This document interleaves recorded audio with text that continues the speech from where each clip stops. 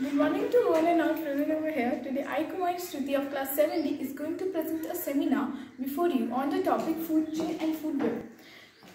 Food chain, the sequence of uh, living organism in which one organism eats one another organism is called food chain. For example, grass is eaten by grasshopper, grasshopper is eaten by frog, frog is eaten by snake, and snake is eaten by eagle. And in this in forest many food chain exist. Many of many of the food chain are interconnected. This is called a food web. Something like this. This is called a food web. In a in a food chain or in a food web every organism is important. Uh, if one organism is removed then another organism will be also affected. So so in a food chain all organism is dependent dependent upon each other. Thank you